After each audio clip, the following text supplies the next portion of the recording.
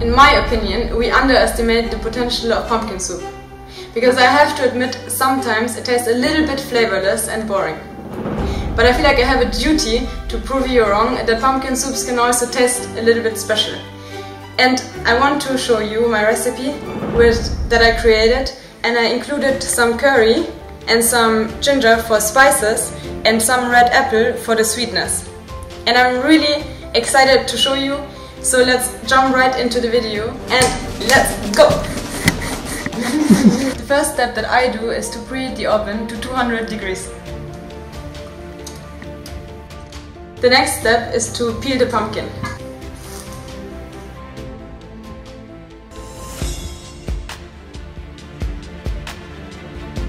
Personally, I prefer the pumpkin soup without the skin because A, you need a high performing mixer to get rid of all the clumps and B, sometimes it leaves an earthy taste that I would like to avoid. Once the pumpkin is peeled and cut, you take a bowl and you mix the, all the pumpkin slices with a little bit of olive oil, curry powder, paprika, salt and pepper.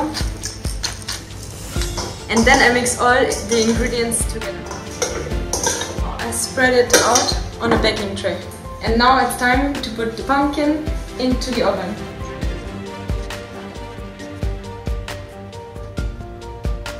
Quickly before the pumpkin is ready to be taken out of the oven, I slice one onion and two cloves of garlic and I will cut them and fry them in a pan.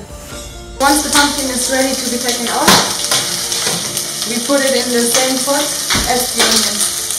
And to it I add 2 cups of water.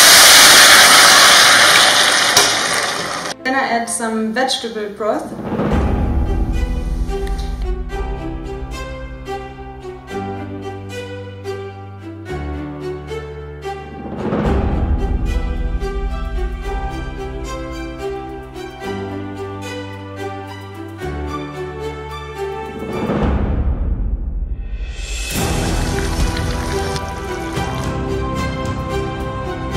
simmering for about 5 to 10 minutes. I take out the rosemary branch and put it to the side. And then you can decide if you mix the ginger or not. And if you don't want to mix the ginger, then it's now it's time to also take the ginger piece out. Then the next step is to take a hand mixer like this one, or you could also use any kind of blender and put the soup into the blender, and you mix the soup